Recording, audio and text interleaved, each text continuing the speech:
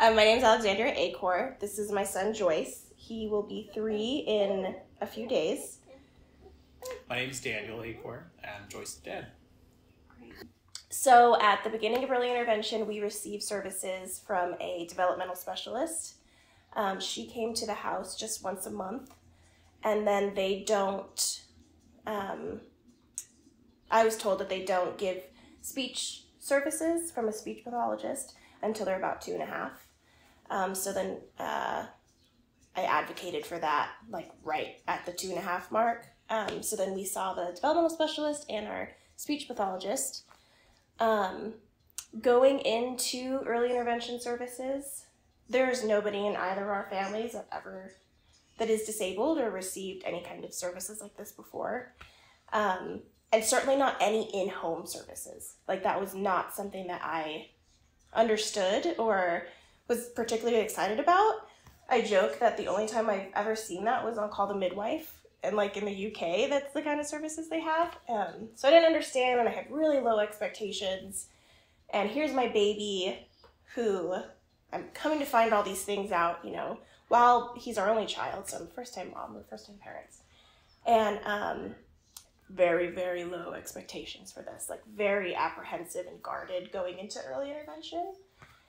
And I would say it probably took me like four months and I just they were so amazing and just so helpful and loved him just as much as I as we love him um, and we're just as uh, invested in him and invested in his care um, as we have been.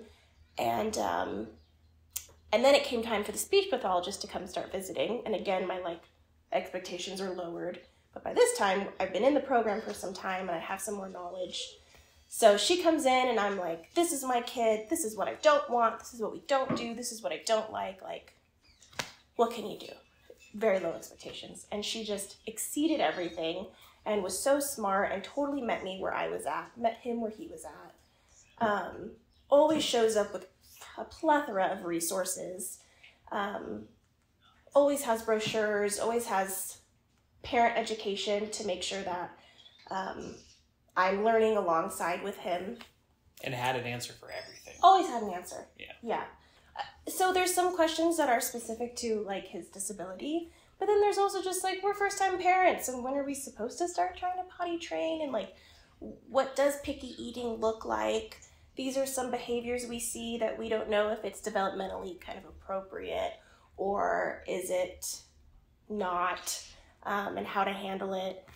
And um, I think that through the services, we really came to find what our values were as a family and what we, I don't know, kind of outlined what we want for Joyce and the type of care that we want for Joyce. So I would say that parent education is like a cornerstone of the early intervention services because we are Joyce's therapists and parents, right? Like we're the ones that can implement changes and um, set boundaries and expand on skills all the time and not like in a scheduled setting.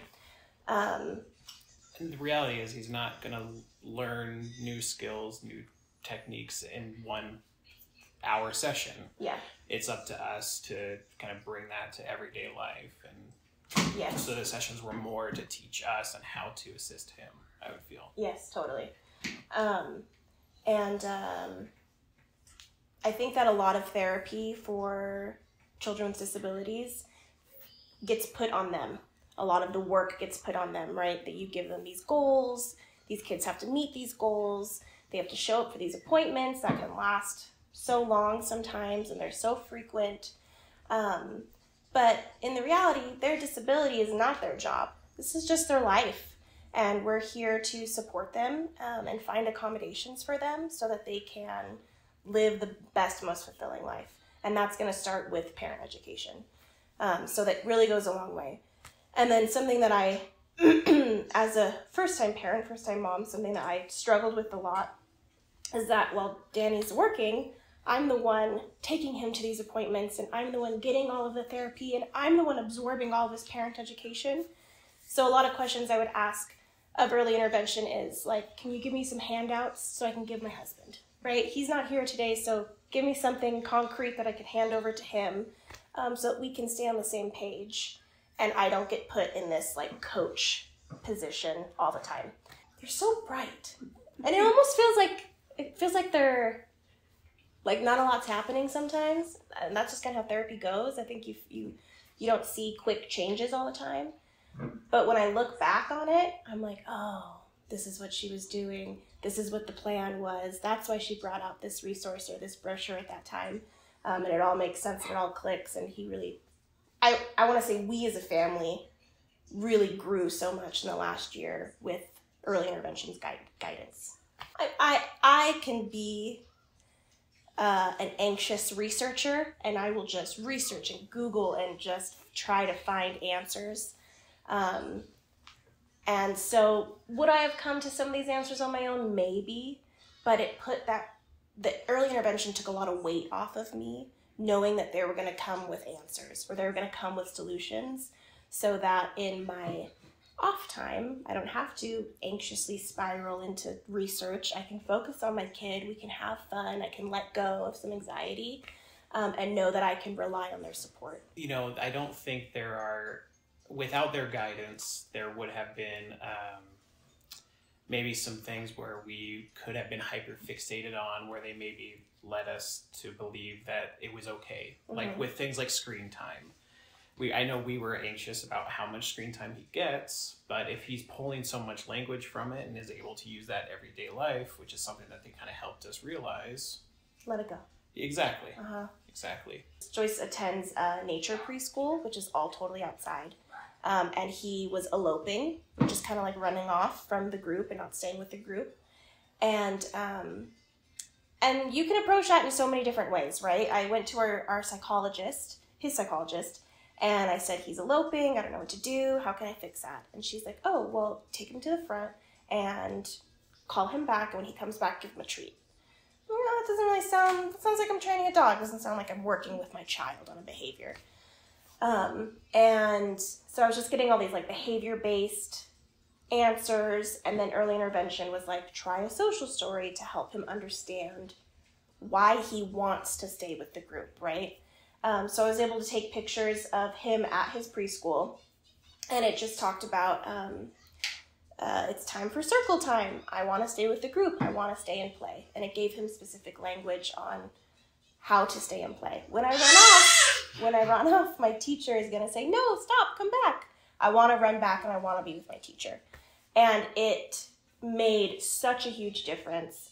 And it's now a tool that we use going forward whenever we have any kind of big behaviors that we want to try to steer in a certain direction.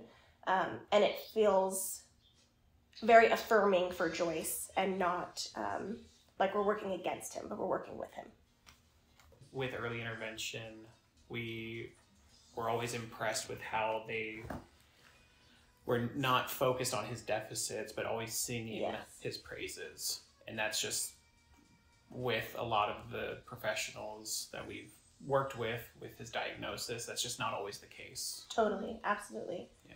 And when you when your child is has a disability of some kind it is assessment after evaluation after assessment, questionnaires and doctor's appointments, and you're consistently getting bombarded with this paperwork that says these are their challenges, these are deficits, this is what's wrong with your kid. Over and over and over, and it becomes very traumatic to the fact to the point where I don't want to do evaluations anymore. It's very scary. Um, so having that affirming team for him, it just feels so good because he's more than what's in an assessment. He's more than what's in an evaluation. More than a score. Yeah, absolutely.